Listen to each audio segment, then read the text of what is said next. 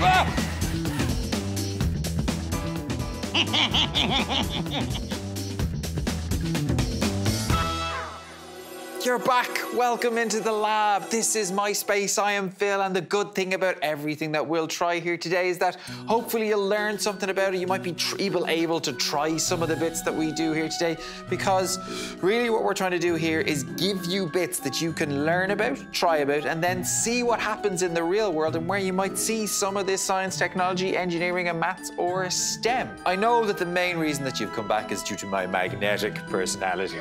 and actually, we're going to be talking talking about some magnets today. Magnets have a north pole and a south pole, and they have a, a magnetic field that goes around them. And normally, when you put north to north, they get pushed away. If you put south to south, they repel. So like poles uh, repel, but if you put an opposite together, they attract Oh, and they stick together, so you have them sticking together. But like I said, they have that field that goes around them. And this field is really, really useful because you can use it to kind of help move things. And that's actually what I'm going to show you right now with something that you can make yourself at home if you've got some magnets and some copper wire and a battery.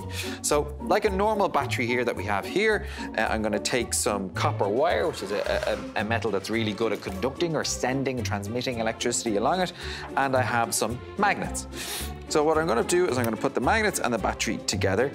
And what we're gonna show you today is by actually taking a wire, and I have a copper wire here, you'll be able to find sometimes, you know, thicker wires work better than others, but if you bend it into a shape that I'm gonna be able to connect the top, which is the negative, to the bottom, which is connected with the, the positive with the magnets, we should be able to create a little magnetic field, and that push should push this around.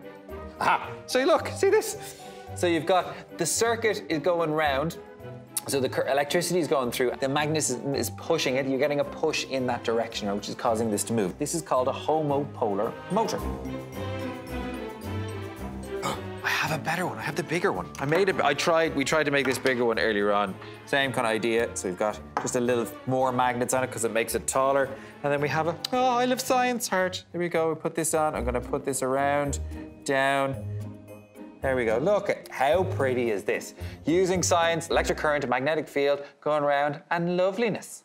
So you're seeing how motors works. They use magnets, they use a sense of power going through.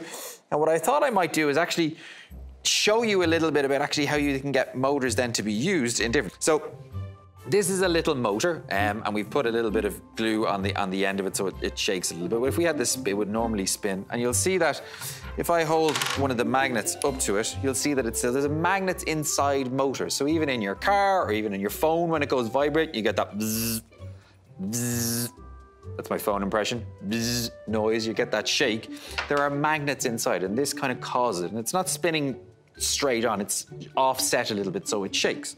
So what I thought we might do is if I took two of my toothbrushes. I have another one, don't worry. And I cut off the top and I put them on here so it's bristles. They're gonna act like legs. I'm gonna take some Blu Tack. I'm gonna stick that on with there with the Blu Tack so it stay on. And I put a little bit of glue on the top so instead of just spinning straight and just being a circle, it's gonna kind of shake as it does it.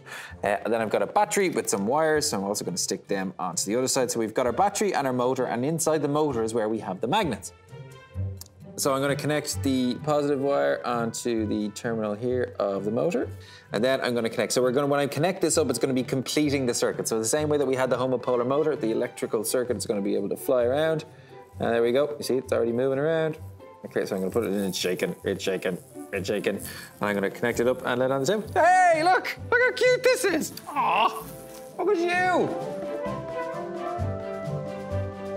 Take a look out in the real world. See some of the science that you can do with a homopolar motor or something else like this. Where else in real life is this happening around you? Observe, take note. You can explore more on rte.ie forward slash learn and send us in your efforts, your tries, and try and make your own little mini robot. Even put a picture of yourself on top of the robot as it rides around on your table. Be quite cool. See you soon.